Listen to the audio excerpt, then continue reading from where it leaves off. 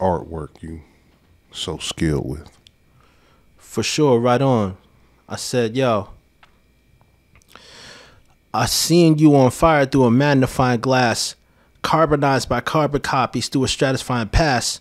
No wonder you had me laughing at ordinary stoics, cause we're ordinary people but extraordinary poets.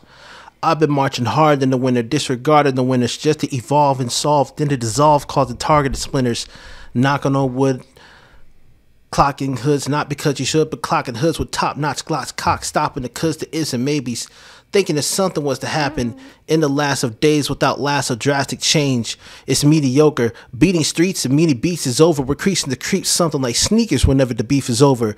The bridge is over, so get your rover. From stockholders with shrug shock shoulders who happen to pop toasters, bring them a lot closer to mental flights and mental creative thoughts out of the border when dealing with the splinter foot soldier.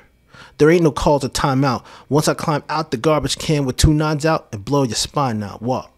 Woo!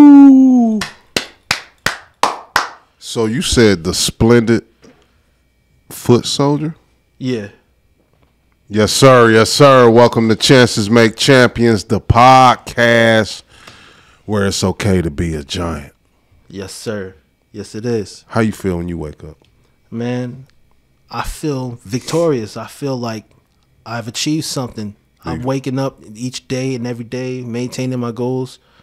Yes, sir. You know, giving props to where it's due, saluting a lot of people doing their thing, such as yourself.